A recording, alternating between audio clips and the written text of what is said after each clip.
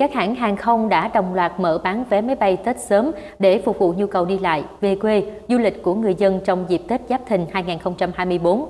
Tuy nhiên thì giá vé máy bay cao hơn đáng kể so với ngày thường, khiến nhu cầu đi du lịch nội địa dịp Tết có khả năng lâm vào tình trạng thua trên sân nhà.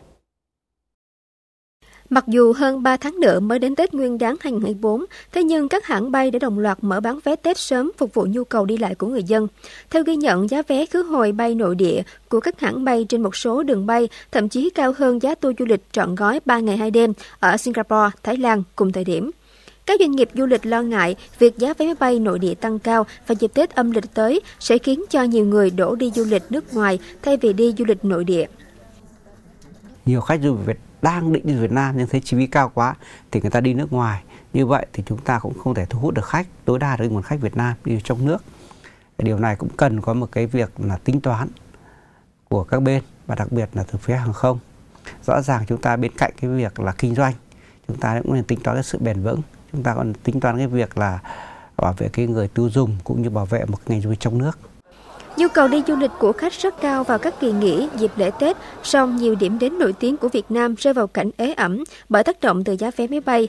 Chẳng hạn giá vé máy bay tăng cao đợt nghỉ lễ 30 tháng 4, 1 tháng 5 năm nay đã khiến tỷ lệ lấp đầy tại nhiều khách sạn ở Phú Quốc chưa đến 50%.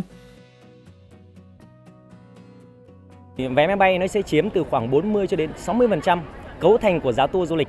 Chính vì vậy, việc mà giá vé máy bay quá cao khiến cho giá tour tổng thể du lịch nó tăng lên một cách đột biến và như vậy rất gặp khó gặp nhiều khó khăn cho các công ty du lịch thậm chí là địa phương trong việc vấn đề mà hút khách du lịch Đánh giá nhu cầu đi lại dịp Tết thường tương đối ổn định. Nhiều chuyên gia đề xuất các cơ quan chức năng, đơn vị liên quan cần dự đoán tổng lượng khách có kế hoạch tăng cường chuyến từ sớm để có lượng cung đầy đủ, bù chi phí bán lịch đầu cho ngành hàng không.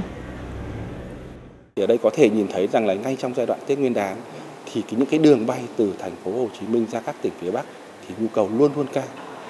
Và ở giai đoạn đó thì các hãng không sẽ bán vé ở cái mức cao hơn so với cả cái mức bình bình bình quân. Trong khi cái chiều ngược lại từ phía Bắc và miền Nam trong giai đoạn trước Tết Nguyên đán thì rất thấp. Chúng tôi cũng à, liên kết với lại à, các hãng hàng không, đặc biệt là hãng hàng không quốc gia Việt Nam.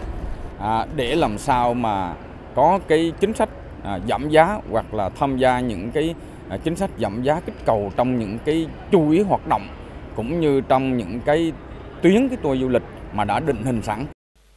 Hàng không và du lịch có quan hệ mật thiết với nhau.